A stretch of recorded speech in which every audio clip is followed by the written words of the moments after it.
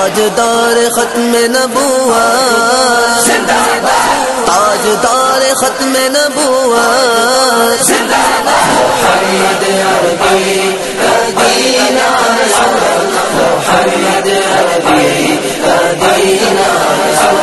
निज़ाम मुस्तफ़ा लाएँगे तख्त पर। निज़ाम मुस्तफ़ा लाएँगे तख्त पर। इस वतन के दुश्मन, इस वतन के दुश्मन नाकाम हो जाएँगे।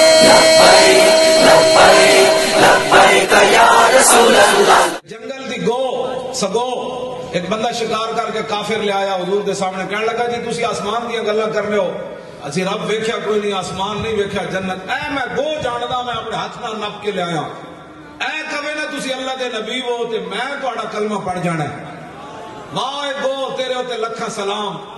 तू जंगल रह के खुडा में रह के तेन पता सी ये नबी केड़े ने। ते सबनी पहुँच के हजूर का हथ बोले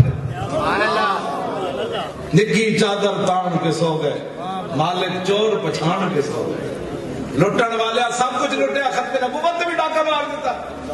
असि क्यों क्यों मारे ने कहते तुम कौन आते हो? ए लो गोलियाँ। ए लो बारह हज़ार शल। क्यों जी?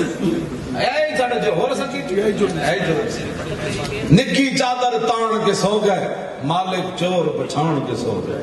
लुटन वाले राज के लुटिया खत्मे नबूबत भी लुटिया नामूस रिसालत भी लुटिया।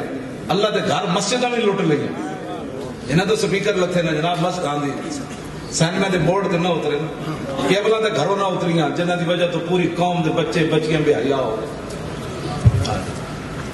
होते ना उतरे केबला घर चो ना उतरिया ते अल्लाह के घर तो स्पीकर उतर गए क्योंकि उन्होंने वजह तो कौम दहशत गर्दी का शिकार हो गई और साड़ियां तकरीर सुन के जैनब ना वाक्य होया साड़ियां तकरीर उन्हें सुनिया मेरिया तकरीर सुन के ते यूरोप के जमाना तीन तीन साल हो गए गैर मारम औरत नूं नहीं बैठा साल उम्र है, उन्हें मुंडिया की उन्हें कहते जदों की थोड़ी तकरीर सुनी किसी गैर मारा औरत न बेल्जियम भी नहीं वेख्या, कनेडा भी नहीं वेख्या। हाँ जी। दसो साड़िया तकरीर सुन के फिर जैनब नाले वाक्य होया। क्योंकि मसीदा ने स्पीकर जुर्म जितना बड़ा किया लुटन वाले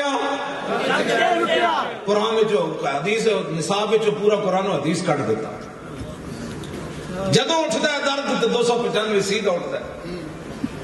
ये भी हो गया तो फिर मंदिर में जाके क्या कि अल्लाह और भगवान एक ही चीज़ है। फलिल्लासमाउल हुस्ना किधर गए? या रहमान या रहीम या मलिक या कुद्दूस अस्सलाम अल मोमिन अल मुहैमिन अल अज़ीज़ अल जब्बार अल मुतकब्बिर। वल्लाहु अल्लज़ी ला इलाहा इल्ला हु आलिमुल गैब व शहादत व रहमानुर रहीम। वल्लाहु अल्लज़ी ला इलाहा इल्ला हु अल मलिकुल कुद्दूस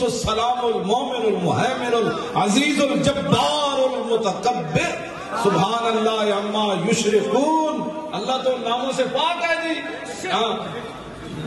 जिन नामों के साथ वो अल्लाह के साथ शिरक ठहराते हैं, ये तो कुरान की नस है। ये सारी बातें करने के बाद लुटन वाले रज के लुटिया और इन्होंने मसला खत्म, नबूवत भी समझ ना आया। हमें फिर समझाना पड़ता है, यानी वो